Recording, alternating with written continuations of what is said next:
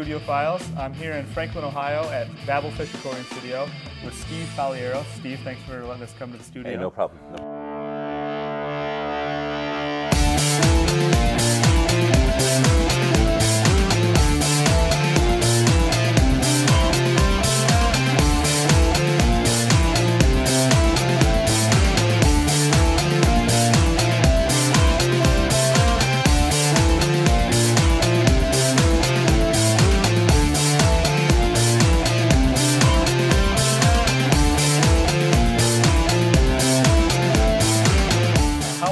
Babblefish been in operation? When did you guys get started? We opened up in 1997, and it came from uh, a um, home studio, just like a lot of studios do. What type of uh, projects do you guys do here? We get a lot of everything, uh, from bluegrass and bluegrass and gospel bluegrass to rock to screamo to jazz. Uh, did some classical flute stuff uh, just the other day on location. So I mean, we we really cover the gamut. What type of uh, equipment could we expect to see? we try to bridge the gap between old school and new school. But as far as gear goes, I'd love to give you a tour. Cool. Let's take a look. Okay. This is a uh, MCI JH24. It is uh, a two-inch analog machine uh, from uh, circa 1970. I th- actually, I think it's an 82, um, right before Son- Sony bought them out. So it is an MCI. It's a great machine that has that analog sound. Uh, we still use it, use it a lot for drums, tracking drums. Uh, take the drums, record them here, drums, bass, guitar, you know, basic tracks, and we'll dump them over to the computer. From there over to the hard disk and do all of our editing there. Over here, we have a small rack. This contains our headphone system here. This is the Hear Technology Hearback system, which is really cool. If you look at that, we've got all the channels here that are available from the patch bay, so everybody has their own mix out in the studio.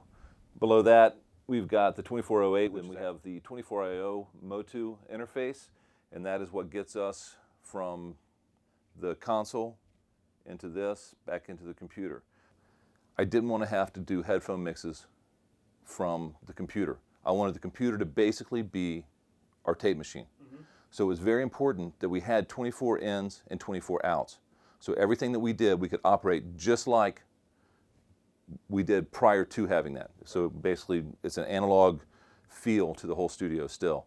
For that, we just have a CD burner, and then the DA38s, which is actually where we started the studio, eight-track digital modular units. We still use them basically to take people's old work and transfer it out. Here we have um, a Joe Meek uh, VC1Q. It's just channel strip basically. You've got, uh, gonna put gain. Then you have a compressor, uh, EQ, and de-esser and uh, booster, however you want to treat that. It's kind of a cool little unit. Below that we have a, an Effectron or a Delta Lab Effectron 1. It's an ADM 1020. It's an old delay line from the 70s. Things sound great. It works great for a pre-delay for my plate reverb, which we don't have in the room here, but we have a plate and it's up, actually upstairs. Then below that, we have the old uh, 200, Lexicon 200 reverb, and that thing is just sweet. I, there's just nothing other than maybe a Lexicon 300 or a, you know the 480 or something like that that has those sounds. But the tails on that, it's you put it on a plate and it's almost equivalent to the real plate. I mean, it, this, they just sound absolutely amazing. The Behringer V amp, which is basically an amp simulator, it works great to sit down and say, okay, we're just going to plug in a guitar and figure out a guitar part. Then over to the compressor bank, uh, Presonus ACP8, eight channels of compression and gates. Really nice when you're working from the console. The DBX 165A, it's, it's just a fantastic unit. Kick drum, bass guitars, vocals. I mean, it just sounds great. The Pandora LM402 is kind of a freakish thing. I've never seen another one, but to you know to do the two-stage compression, something like that, to chain the two together, it works really, really nice. Below that are the Altec 436s, um, tube compressors, just great units. Um, tons of character. If you don't want if you don't want to hear them, don't put it on there. And your board. The board, the board is a Tascam M600. Basically, it's 32 channels by 16 by 32. It is a um, bus console or a, a split console, if you will, as opposed to an inline. Whereas you have the input section here, the output section here, and then this is your return. And it really, there's just pretty much nothing you cannot do with it.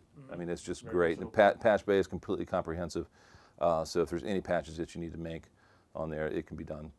Monitoring, we are going through the um, uh, TOC um, Studio Monitor 1s. We've got the Bryston uh, 4B and the Hafler 1500 on the top. Down here we have the Yamaha NS10s and the M Audio um, powered speakers.